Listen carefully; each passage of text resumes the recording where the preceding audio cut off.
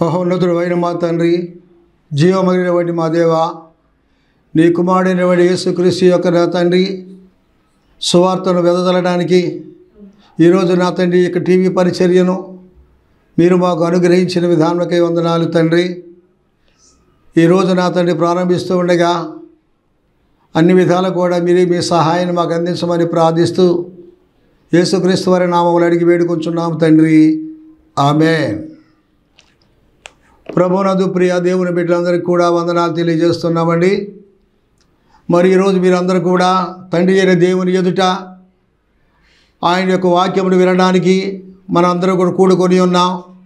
ఇప్పుడే కాదు మనం ఎన్నో సంవత్సరాల నుంచి వింటున్నాం కానీ దేవుని చిత్తాన్ని నెరవేరుస్తున్నామో నెరవేర్చట్లేదో మరి మనకు తెలియదు. కాబట్టి దేవుని చిత్తాన్ని నెరవేర్చడం అంటే ఏమిటో ఈరోజు క్షుణ్ణంగా మనం అందరం కూడా తెలుసుకుందాం. దేవుని చిత్తాన్ని నెరవేర్చడం అంటే యాకోబు రాసినటువంటి పత్రిక మొదటి అధ్యాయము పంతొమ్మిది ఇరవై వచనంలో ఆయన రాసినటువంటి మాటను మనం చదువుకుందాం. ఒకటి నా ప్రియ సహోదరులారా మీరు ఈ సంగతి ఎరుగుదురు కదా గనుక ప్రతి మనుష్యుడు వినుటకు వేగిరిపడువాడును మాటలాడుటకు నిదానించువాడును కోపడుకు నిదానించువాడునై ఉండవలనని. ఎందుకనగా నరుని కోపము దేవుని నీతిని నెరవేర్చదు. కాబట్టి మనమందరం కూడా ఈ యొక్క లక్షణాలు కలిగి ఉన్నప్పుడే దేవుని యొక్క నీతిని నెరవేర్చినటువంటి వారిగా ఉంటామని తెలియజేస్తున్నది. ఈ లక్షణాలు కలిగినటువంటి వారు మాత్రమే నూతన జన్మను గురించిన ఆలోచన కలిగి ఉంటారు. ఈ లక్షణాలు ఉన్నటువంటి వారు మాత్రమే నూతన జన్మకు అనగా దేవుని యొక్క రాజ్యములకు వారసులుగా ఉంటారన్న సంగతి మనం జ్ఞాపం చేసుకోవాలి. ఎందుకంటే మనం చూడండి చాలామంది కూడా పెద్దలు చెబుతూ ఉంటారు ప్రసంగికులు చెబుతూ ఉంటారు అనేక మంది జ్ఞానమైన బోధలు మీరు వింటూ ఉంటారు. వింటారు కానీ విన్నట్టుగానే ఉంటారు కానీ దాన్ని మీరు గ్రహించలేని సంగతిని ఈ రోజున మనం తెలుసుకోవాలని అని మీ అందరికీ కూడా తెలియజేస్తున్నాను. ఎందుకనగా వినుటకు వేగిరపడు వాడును తను ఎప్పుడైతే మనం దేవుని యొక్క సత్యాన్ని వినడానికి మనం తెలుసుకుంటానికి నిదానముగా కాదు కానీ త్వర త్వరగా త్వర త్వరగా వేగిరపడుతూ రావాలి దేవుని యొక్క మందిరానికి. దేవుని యొక్క మందిరానికే కాదు ఎక్కడైనా ఒకవేళ సమాజంలో కూడికలు పెట్టినప్పుడు కానీ గృహ కూడికలు పెట్టినప్పుడు కానీ మీరందరూ కూడా త్వరపడి రా వచ్చి దేవుని యొక్క వాక్యం విని వాక్యానుసారంగా జీవించేటువంటి వారిగా ఉంటారని నేను తెలియజేస్తున్నాను ఎందుకనగా వినుటకు వేగిరపడువారు వినుట వల్ల విశ్వాసం కలుగునని రోమిలాసిన పత్రికలో ఆ యొక్క అపోసమైన పౌలు తెలియజేశాడు. కాబట్టి దినమున నీవైనా నేనైనా ఎక్కడైనా దేవుని యొక్క సత్యాన్ని మనం తెలుసుకోవాలి అంటే ఆఖరిలో కాదు మధ్యలో కాదు వారి ప్రారంభంలోనే మనం వెళ్ళి ఆ యొక్క వాక్యాన్ని మనం వినేటటువంటి వారిగా ఉండాలని నేను మీ అందరికి కూడా తెలియచేస్తూ ఇక్కడ మనం చూసినట్లయితే ఒక విషయాన్ని మనం గమనిద్దాం. మరి వినుటకు అని చెబుతుంది కాబట్టి యేసుక్రీస్తు ప్రభువారి ఈ లోకంలో రాకమునుపు తండ్రి అయినటువంటి దేవుడు తన కుమారుడు యేసుక్రీస్తు ప్రభువారిని ఈ లోకంలో పంపించినప్పుడు కొన్ని విషయాలు ఆయన తెలియజేశారు. ఆ విషయాలు ఏమిటో ఇప్పుడు మనం చదువుకుందాం. యశయ రాసిన గ్రంథము యాభైవ అధ్యాయము ఐదో వచ్చిన కాంచి మనం చదువుకుంటూ పోదాం. ప్రభువకు యహోవా నా చెవికి విను బుద్ధి పుట్టింపగా. నేను ఆయన మీద తిరుగుబాటు చేయ లేదు వినకుండా. నేను తొలగి ఇక్కడ మీరు గమనించినట్టయితే ఆయన ఆ యేసుక్రీస్తు ప్రభువారికి సుఖమైనటువంటి రోజులు ఉన్నాయేమని సంతోషమైన రోజులు ఉన్నాయని ఆనందకరమైన రోజులు ఉన్నాయని ఆయన భవిష్యత్తు బాగుంటుందని ఆయనకి ఆస్తి ఇస్తారని కూడా ఆయన మాట్లాడలేదు కానీ ఆయనకు ఈ లోకంలోనికి వచ్చిన తర్వాత ఎన్ని బాధలు ఉన్నాయో ఎన్ని శ్రమలు ఉన్నాయో ఎన్ని అవమానాలు ఉన్నాయో ఎన్ని వేదనలు ఉన్నాయో అవన్నీ కూడానండి తండ్రి అనేటువంటి దేవుడు కుమారుడు చెబుతూ ఉండట కానీ చెబుతూ ఉన్నప్పుడు అంటే ఆయన వినకోకుండా ఉండలేదంటండి. ఎంత అర్థమైందండి మీ అందరికి కూడా? ఆయన వినకుండా ఉండలేదంటండి. ఆయన విన్నాడు. అసలు ఆ మాటలు చెబుతుంటేనంట వినబుద్ధి అయిందంట అండి. మనకైతే ఎలాగూడదండి తండ్రి ఏమైనా డబ్బులు ఇస్తానంటే వింటాం. కానీ కోపడితే మాత్రం మనం మొహం మార్చుకుంటాం. కానీ ఈ ప్రభు అనేటువంటి దేవుడు కుమారుడు చెప్పే సమయంలో ఎక్కడ కూడా ఈ మాటలు నాకు నచ్చలేదను. నేను చేయనని అనలేదు కానీ అన్ని విషయాలు కూడా ఆయన చెబుతూ ఉంటే ఆయన భూలోకంలో ఏవే శ్రమలు పడాలో ఎన్ని బాధలు పడాలో అవన్నీ కూడా చెబుతూ ఉంటే వినబుద్ధి అయిందట. ఎందుకు తెలుసా అండి? పాపములో ఉన్నటువంటి మానవులను రక్షించడానికి మనలను పాపం నుంచి విడుదల చేయడానికి పాపను బయట తీసుకురావడానికి నేను వెళ్ళబోచిన ఆ యొక్క దేశంలో ఆ యొక్క భూలోకంలో ఉన్నటువంటి ప్రజలు ఎంతోమంది నన్ను గురించి సంతోషమైన ఉద్దేశంతోనే అన్ని శ్రమల గురించి చెప్పినప్పటికి కూడా ఆయన ఎక్కడ కూడా బాధపడలేదన్న సంగతిని ఇక్కడ తెలియజేస్తూ ఉన్నారు. కొట్టువారికి కొట్టు వారికి నా వీపును తండ్రి అనేటువంటి దేవుడు కుమారుడు చెబుతున్నాడు. అయ్యా నిన్ను అక్కడ కొడతారు. అని చెప్పినప్పుడు నా వీపును అప్పగిస్తానని చెప్పాడు యేసుక్రీస్తు ప్రభువారు. వారికి. అయ్యా నీ వెంట్రుకలు పెరుగు వేయి వారికి. నా చెంపలను అప్పగించి తిని. ఉమ్మివేయి వారికి ఉమ్మి వేయి అవమానపరచు వారికి అవమానపరచు వారికిని. నా ముఖము దాచుకొన? చూడండి తండ్రి అనేటువంటి దేవుడు ఆ యొక్క అభిషిక్తుడైనటువంటి యేసుక్రీస్తు ప్రభు వారికి తెలియజేస్తూ ఉండగా పరలోకంలో ఉన్నటువంటి కుమారుడు తెలియజేస్తూ ఉండగా ఇన్ని బాధలు ఆయనకు ఉండే ఉండే సమయంలో కూడా ఎక్కడ కూడా ఆయన అండి బాధపడలేదండి.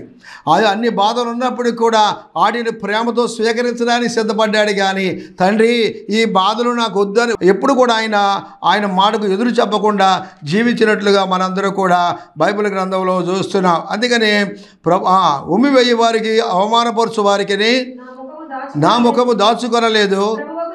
ప్రభువకు యెహోవా. నాకు సహాయం చేయువాడు కనుక నేను సిగ్గుపడా? ప్రియా దేవుని బిడ్డలారా మీరందరూ కూడా గమనించాలి దేవుడు మనం సిగ్గుపరిచేటువంటి వాడు కాదండి. ఎప్పుడు కూడా నిన్ను సిగ్గుపరచనివ్వడు ఆయన నిన్ను ఎప్పుడు కూడా తలదించుకోనివ్వడు నిన్ను తల ఎత్తుకునేవాడిగా చేస్తాడు కానీ తలదించుకునేవాడికి చేయడన్న సంగతిని తండ్రి అనే దేవుడు పరలోకంలో కుమారుడికి చెప్పి ఈ భూలోకం పంపించినప్పుడు భూలోకంలో ఉన్న ఆ రాబోతున్నటువంటి శ్రమలకు ఎదురు వచ్చి కుమారుడు ఎంతగానో ఎంతగానో ఎంతగానో ఆ శిలువను మోసి ప్రియా సహోదరి సహోదరులారా మన కొరకు ఆయన ప్రాణ త్యాగం చేసినటువంటి ఆ యొక్క కుమారుడు యొక్క త్యాగాన్ని మనం చూడబోతున్నాం. తర్వాత ప్రభువు యహోవా నేను సిగ్గుపడని ఎరిగి నా ముఖమును చెక్కుముకి రాతి వలె చేకుముకి రాతి వలె చెక్కుకొండిని. నన్ను నన్ను నీతిమంతునిగా ఎంచి నీతి మందిని ఎంచువాడు. ఆసనుడై చాలండి చూడండి.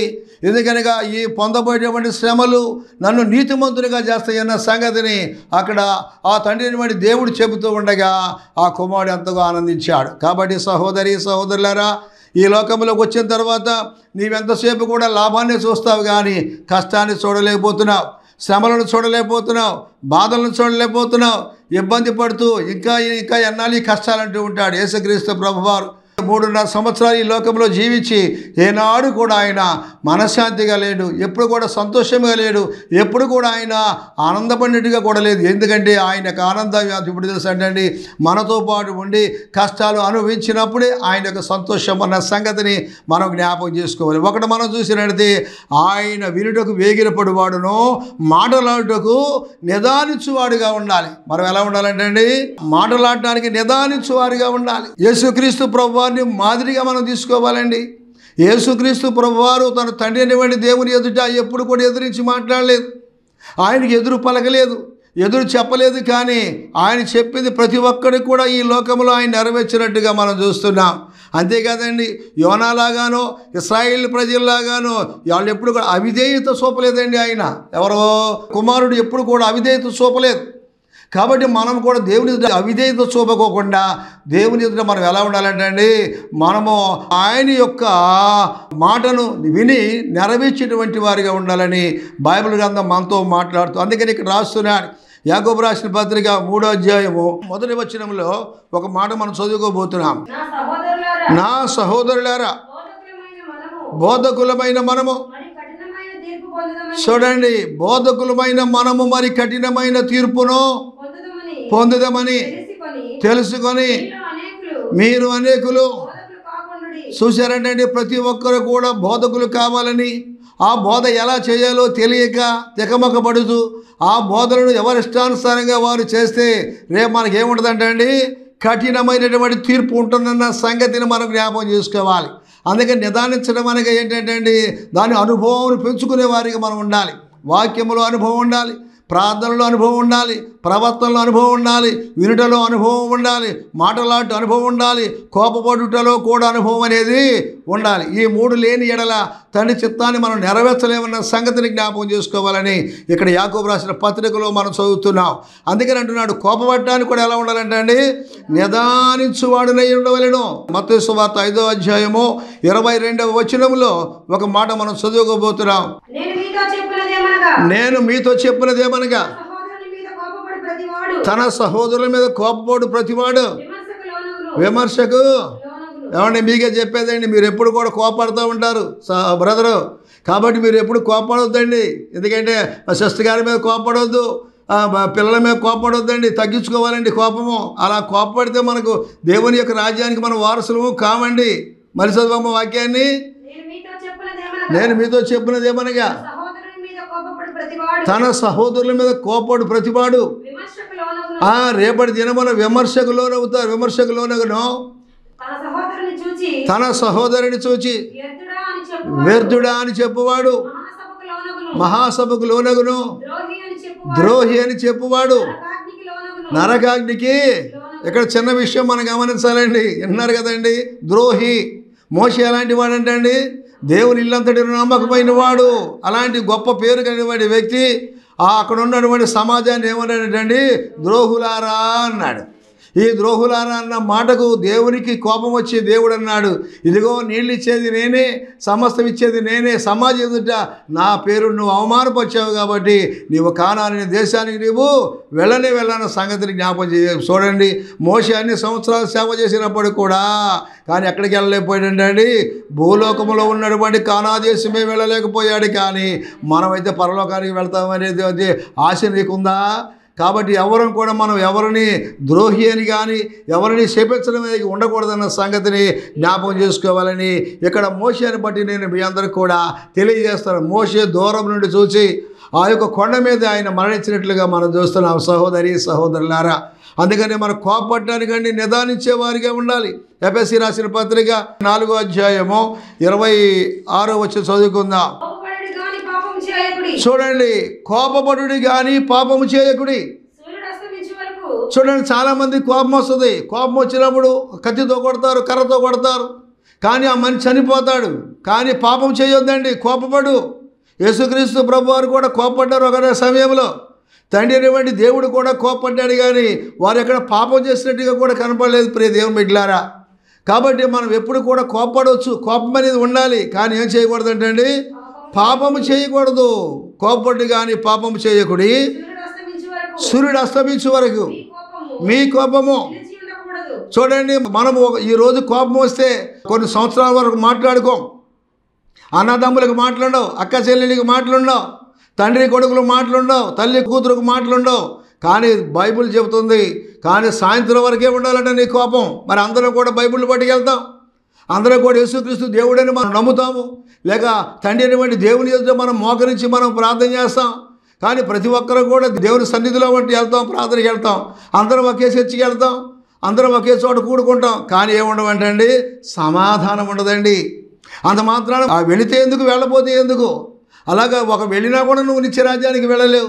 వెళ్ళినా కూడా నీకు దేవుడు సమాధానం నీకు దొరకదు. అప్పుడే విమర్శకు లోనవుతావన్న సంగతిని మనం జ్ఞాపకం చేసుకోవాలి. కోపపడి కానీ పాపము చేయకుడి. సామెతల గ్రంథం పదహారో అధ్యాయము ముప్పై రెండో వచ్చినాం పరాక్రమశాలి కంటే.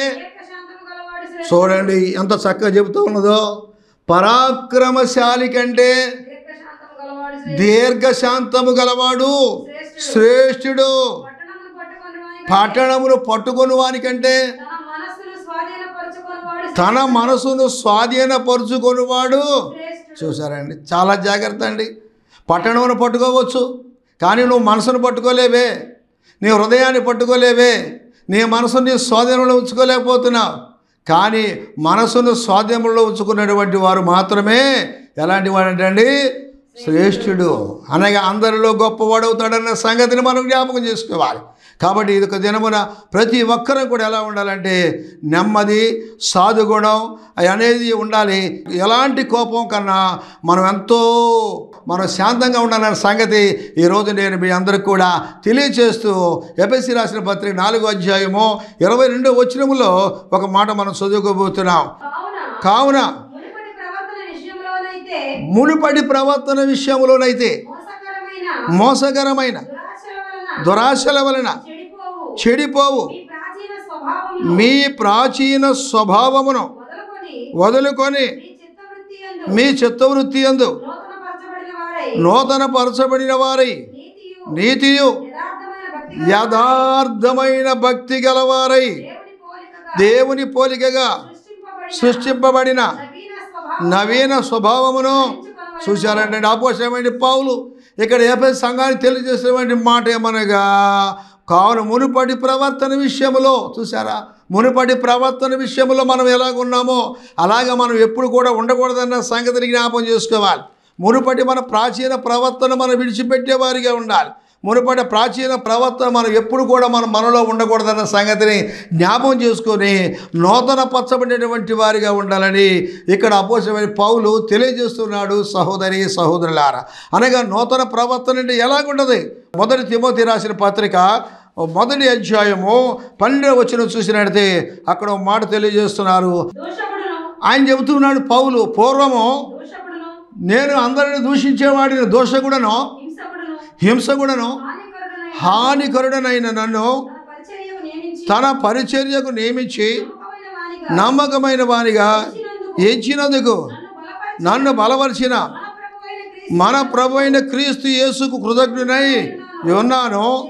తెలియక వలన అవిశ్వాసం వలన చేసింది కనుక చూడండి ఆ మునుపటి ప్రవర్తన విడిచిపెట్టి నూతనమైన ప్రవర్తనలోకి వచ్చానగా నూతన జన్మలోనికి వచ్చాడు. కాబట్టి ఈరోజు మనము కూడా మన పాత స్వభావమును మనం విడిచిపెట్టి మనమందరం కూడా నూతన స్వభావం కలిగినటువంటి వారిగా జీవిస్తే ప్రభు అయినటువంటి తండ్రి అనేటువంటి దేవుడు మనందరినీ కూడా ఆయన రాజ్యంలో చేర్చుకుంటాడన్న సంగతిని మనం జ్ఞాపం చేసుకోవాలి. ఇక్కడ సూటిగా మాట్లాడాడు యేసుక్రీస్తు ప్రభు వారు ఎవరితో? పౌలతో. సౌలా సౌలా నీవు నా నెల హింసిస్తున్నావని చెప్పినప్పుడు ఆ రోజున ఆయన సరెండర్ అయిపోయాడు. ఆ రోజునే ఆ యేసు క్రీస్తుకు దొరికిపోయాడు. ఆ రోజునే యేసు క్రీస్తుతో మాట్లాడాడు. యేసు క్రీస్తు అన్నాడు ఇదిగో నిన్ను నా పనికి ఎన్నుకుంటున్నాను అని చెప్తున్నాడు. నా సాధనముగా నిన్ను ఎన్నుకుంటున్నాను చెప్పి ఆ రోజున సౌల్ని ఆ పౌలుగా మార్చి ఆయన అన్యజనులకు స్వార్థను ప్రకటించడానికి పంపించినట్లుగా లేఖనాల్లో మనందరూ కూడా చూస్తున్నాం. ఆయన తన తప్పును తాను ఒప్పుకుంటున్నాడు. ఏమని ఒప్పుకున్నాడంటే ఆయన అన్నాడు తెలియక అవిశ్వాసము వలన చేస్తే కనుక కనికిరింపబడింది సహోదరి సహోదరులారా ఈరోజు నువ్వు తెలిసి చేస్తున్నావో తెలియక చేస్తున్నావో నాకే తెలియదు కానీ ఒకవేళ తెలిసి చేస్తే నీవు శాపగ్రస్తుడు అవుతావు. శాపగ్రస్తురాలు అవుతావు తెలిసి పాపం చేస్తే. తెలియక పాపం చేస్తే క్షమించబడతావు అన్న సంగతిని మనమందరం కూడా ఈ రోజున తండ్రి అయిన దేవుని ఎదుట మరి మనం వింటున్నటువంటి ఆయన యొక్క మాటలు మనం అందరం కూడా జ్ఞాపం చేసుకోవాలి. తెలియక చేసావా నన్ను క్షమించలేదు ఒకవేళ తెలిసి చేసావా నీ పాపాన్ని ఒప్పుకొని ఆ యొక్క తండ్రి ఎదుట పాపాన్ని ఒప్పుకొని క్షమించేంత వరకు కూడా ఇగో చూడండి సౌలుగా ఉన్నప్పుడు మూడు దినాలు కళ్ళు కనపడకుండా ఏ రీతిగా ప్రార్థన చేశాడో మూడవ దినమాన ఆ కళ్ళు పొరలు రాలిపోయినాయి. కాబట్టి ఒకవేళ నీళ్ళు ఏమైనా కంటి పొరలు ఉంటే ఆ పొరలను తీసివేసి ఆ పొరలను తొలగించుకొని నీకేముండాలనేది ఆ యొక్క వాక్యమును చదివేటువంటి కన్నులు దా లేదా ప్రభువు చూసేటువంటి కన్నులు కలిగి ఉండాలన్న సంగతిని నేను ఈ యొక్క సందేశం ద్వారా మీ అందరికి కూడా తెలియజేస్తున్నాను ప్రియ దేవుని బిడ్డలారా. కాబట్టి మనమందరం గమనించవలసినమనిగా ఎపిఎస్సి రాసిన పత్రిక ఐదో అధ్యాయము మూడో వచ్చిన ఒకసారి చదువుకొని ముగించుకోబోతున్నాం. మీలో జాగ్రత్తవే కానీ ఏ విధమైన అపవిత్రతయే కానీ లోపత్వమే కానీ వీటి పేరైన పేరైనను ఎత్తకూడదు. ఇదే పరిశుద్ధులకు తగినది. చూడండి నీ నోటి నుండి కృతజ్ఞత వచ్చినమే కానీ కృతజ్ఞత వచ్చినమే మీరు చెల్లింపవలను చెల్లింపవలెను కానీ మీరు బూతులైనను పోకిరి మాటలైనను సరస్వక్తులైనను ఉచ్చరింప. ఈ రోజున చాలామంది ప్రార్థనకి వెళ్ళేటువంటి వారు వారిని మనం గమనిస్తూ ఉంటే వారి నోట బూతులు వస్తున్నాయి వారిలో పోకిరి మాటలు వస్తున్నాయి వారు సరసలాడేటువంటి వారిగా ఉంటున్నారు. కాబట్టి అలాంటి ఆ బూతులైనను పోకిరి మాటలైనను సరసోక్తులైనను ఉచ్చరింపకుండా ఆశీర్వాద వచ్చినమే పలికేటటువంటి వారిగా ఉండాలని ఈ రోజున నేను మీ అందరికీ తెలియజేస్తూ సహోదరి సహోదరులారా ఇదిగో ఆ స్టీవెన్ అనేటువంటి నేను మీ యొక్క యేసుక్రీస్తు యొక్క దాసుడని ఉన్నాను కనుక మీ ఎదుట నేను దేవుని యొక్క వాక్యమును ప్రకటిస్తున్నాను కాబట్టి మా కొరకు మీరందరూ కూడా ప్రార్థించేటువంటి వారిగా ఉండాలని కూడా తెలియజేస్తూ ఇలాంటి లక్షణాలు మీలో ఉంటే పోకిరమైన లక్షణాలు మీలో ఉంటే వాటిని తీసివేసి ముందుకు సాగాలని తెలియజేస్తూ కొలసి రాసినటువంటి పత్రిక మూడో అధ్యాయము ఐదో వచ్చిన మనం చదువుకుందాం. కావున భూమి మీద ఉన్న మీ అవయవములను అనగా జారత్వమును అపవిత్రతను కామాతురతను దురాశను విగ్రహారాధనైనను ధనాపేక్షను. చూడండి అనగా నువ్వు నీ శరీరంలో వేటిని వేటిని చంపివేయాలో ఇక్కడ దేవుని యొక్క వాక్యం మనతో మాట్లాడదు ఏమేమి చంపాలంటామా ఏంటండి? కావున భూమి మీదనున్న భూమి మన అవయవములను అనగా జారత్వమును అపవిత్రతను కామాతురతను దురాశను, విగ్రహారాధనైన ధనాపేక్షను చంపివేయుడి. వాటి వలన దేవుని ఉగ్రత అవిధేయుల మీదకి వచ్చును. పూర్వము వారి మధ్య జీవించినప్పుడు మీరును వీటిని అనుసరించి నడుచుకుంటారు ఇప్పుడైతే కోపము కోపము ఆగ్రహము దుష్టత్వము దోషణ మీ నోట బూతులను వీటన్నిటిని విసర్జించుడి ప్రియ దేవుని బిడ్డలారా. కాబట్టి ఇవన్నీ కూడా మనకు తగదు. దేవుని బిడ్డలను చెప్పిన మనకు తగదన్న సంగతిని జ్ఞాపకం చేసుకొని వీటిని విసర్జించి నూతన జీవితమును మనం అందరూ కూడా పొందుకునేటువంటి వారిగా ఉండాలని నూతన స్వభావం మనం తెచ్చుకునేటువంటి వారిగా ఉండాలని నూతన జీవం జీవించేటువంటి వారిగా ఉండాలని తెలియచేస్తూ మరి ముఖ్యంగా మనం చూసినట్టయితే ఆ యొక్క మొట్టమొదటి మేము చెప్పాను ఇలాంటి సందేశం మీరు వచ్చినప్పుడు మీకు వినబడుతున్నప్పుడు వినుటకు వేగిరమే వెళ్ళాలి. ఎవరైనా మాట్లాడడానికి ఎలా ఉండాలంటే నిదానించేవారిగా ఉండాలి కోపడడానికి ఎలా ఉండాలంటే అండి నిదానించువారనై ఉండాలన్న సంగతిని జ్ఞాపకం చేసుకొని దేవుని యొక్క వాక్యమును మీ హృదయంలో నాటుకోవాలన్న సంగతిని జ్ఞాపకం చేస్తున్నాను ఎలా నాటుకోవాలి? మత వార్త పదమూడో అధ్యాయము తొమ్మిదో వచ్చిన చదువుకుందాం. అక్కడ వాక్యం మనతో మాట్లాడుతూ ఉంటుంది. గలవాడు చెవులు గలవాడు వినుడుగా కానీ చెప్పాను. తరువాత శిష్యులు వచ్చి నీ వచ్చి రీతిగా నీవు ఉపమారీతిగా ఎందుకు వారితో మాట్లాడుచున్నావని?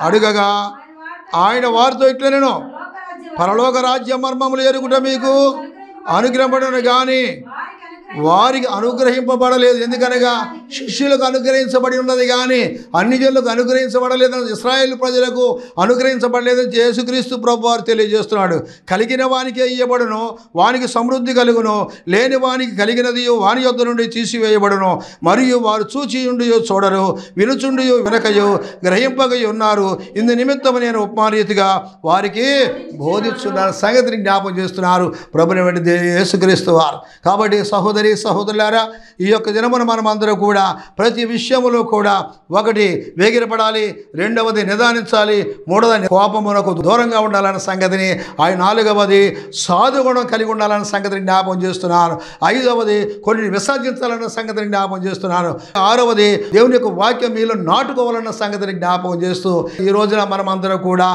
తండ్రిని తండ్రి అనేటువంటి దేవుని ఎదుట కూడుకొని ఉన్నాం కనుక ఈ మాటలన్నీ కూడా మీ హృదయంలో భద్రపరచుకొని క్రీస్తులో మీరందరూ కూడా వేరుపారి పరలోక రాజ్యంలో స్వతంత్రులైనటువంటి వారిగా ఉండాలని తెలియచేస్తూ ఈ మాటలు ముగిస్తున్నారు. దేవుడి ఈ మాటలు దీవించి ఆశీర్వదించునుగాక. ఆమె ప్రార్థన చేసుకుందాం. తండ్రి అయిన దేవా ఈరోజు నాతో బిడ్డలందరితో మాట్లాడిన విధానంకే వందనాలు తండ్రి. కావున ఈ మాటలన్నీ కూడా అయా మేము నా తండ్రి విని వాటి ద్వారా మా హృదయములను స్థిరపరచుకున్నప్పుడు నిశ్చయముగా నా తండ్రి మేము ఒకవేళ తెలిసి తెలియక పాపం చేసినప్పుడు కూడా వాటిని ఒప్పుకుంటే నాయన మీరు నా తండ్రి క్షమించి మమ్మల్ని నేను ఇచ్చే రాజ్యంలో నా తండ్రి వారసత్వం ఇస్తావు కనుక నా తండ్రి. ఆ రీతిగా తండ్రి వారందరూ కూడా అయా ఇదిగో పాపమును ఒప్పుకొని ముందుకు సాగేటటువంటి వారిగా ఉండాలని తెలియజేస్తూ తండ్రి ఇదిగో నాయన మరి ముఖ్యంగా మేము చూసినట్లయితే అయ్యా అనే పాపం చేయనటువంటి వారిగా ఉంటాం కానీ పాపం చేస్తుండే ఉన్నాం కనుక మమ్మల్ని మేము నా తండ్రి విమర్శించుకొని అయ్యా మీలో నా తండ్రి నాయన మంచి వారిగా అయ్యా మంచి విత్తనాలుగా జీవించే భాగ్యం దయచేయమని కోరుచు యేసుక్రీస్తు వారి నామములు అడిగి వేడుకొంచున్నాము తండ్రి. ఆమె వాక్యం విన్నటువంటి వాళ్ళారా మీ అందరికీ వందనాలు తెలియజేస్తున్నా. ఇలాంటి వాక్య పరిచర్య కోసం మీరందరూ కూడా ప్రార్థన చేయండి. మీ సహాయ సహకారం అందించాలని కూడా తెలియజేస్తున్నాను మీరందరూ కూడా ప్రార్థన చేస్తే ఇంకా అనేక మందికి రీతిగా వాక్యము అందించేటువంటి వారిగా ముందుకు సాగుతారన్న సంగతిని మీ అందరికీ తెలియచేస్తూ మరి ఎంతటితో ఈ యొక్క వాక్యమును ముగిస్తూ మా కొరకును మా పరిచర్య కోసం కొరకును మీరు ప్రార్థించాలని తెలియజేస్తూ అందరికీ వందనాలు తెలియజేస్తూ ఉన్నాం.